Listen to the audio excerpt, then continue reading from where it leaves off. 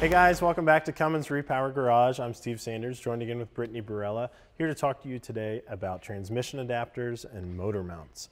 So, the importance of picking a good motor mount, especially for a four-cylinder engine, is that they're not a naturally balanced engine like a V engine would be. So, if you have uh, the wrong solution for your motor mounts, you're going to get a lot of vibration. At Cummins, we talk about NVH quite a bit, noise, vibration, and harshness. If you have a shaky engine, it's not just unpleasant in the steering wheel, it resonates sound through every panel of your vehicle. So getting that right and choosing a proven solution is key. I myself learned this the hard way uh, when I did my first 4B swap. Uh, I you know, picked a motor mount that I thought would be a good motor mount, and then I kind of laid the engine in the frame, and I thought, okay, how do I put this motor mount between the engine and the frame? Fabbed up some stuff that I thought would work, built the rest of the Jeep around it, got it all done, and um, went to drive it, and it was horrible. And it shook the hood, and it shook everything, and I thought, this just can't be right. Uh, so I did some homework uh, after the fact, um, mistakenly, uh, figured out that there was a better solution out there, uh, tried to mimic that solution as best as possible, and a week later, uh, tore my Jeep up, put that uh, better motor mount setup in, and I was much, much, much happier.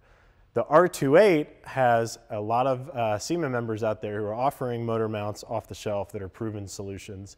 Uh, they're simple focal mounts. They utilize all four uh, block pads that we have here. So one thing you want to make sure you're doing if you're building it yourself is that you're not just grabbing two or three of these holes. You want to use all four of these holes. Uh, they're for an M12 bolt. Uh, we have all the torque specs and everything like that in the installation guide. But again, probably the best thing to do and the easiest thing to do is look for one of those proven solutions from a SEMA aftermarket supplier uh, online. So once you've selected your engine mounts, the next critical component you'll need to source is your transmission adapter. So the R2.8 uh, flywheel and flywheel housing mount directly to a Getrag 5-speed manual. It's a transmission used in our automotive products in Australia and other global markets. We do provide the bolt pattern and all the dimensions of the back of the engine in the installation guide, but most likely you're probably not using a Getrag 5-speed in your repower. So you're going to need some sort of adapter for your flywheel housing con to connect to the bell housing on your transmission and for your flywheel to connect to your clutch. You're going to have removed this bracket for your oil filter. That'll be out of the way, mounted on the chassis and you'll want to take into consideration your starter, which again is mounted on your flywheel housing and interacts directly with your flywheel. So definitely look for a SEMA member who has engineered transmission adapters and flywheel adaptation um, that will take all this into account and will reduce overhung mass on your flywheel and crankshaft to reduce any potential for failure.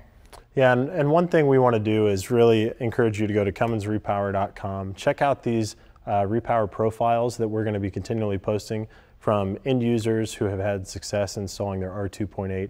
They're going to have hyperlinks to parts that they used, anything they want to showcase that they think is a good solution from the aftermarket for this engine. Uh, that way it takes some of the guesswork out of it for you because we know that it's expensive to have to guess. That's it for this segment of Cummins Repower Garage. Stay tuned for more episodes where we do deeper dives into the installation guide. See you next time. Thanks. So